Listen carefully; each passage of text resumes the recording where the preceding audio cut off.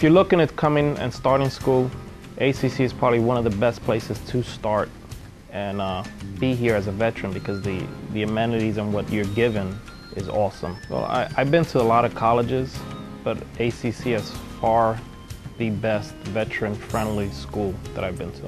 ACC staff is outstanding in supporting us.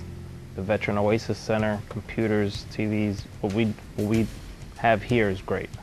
One of the things I would tell a veteran student is that Asnuntuck, uh, that applied along with 4,000 other schools, was voted as one of the top 100 in the nation, and there's only two schools in the state of Connecticut that qualified for that.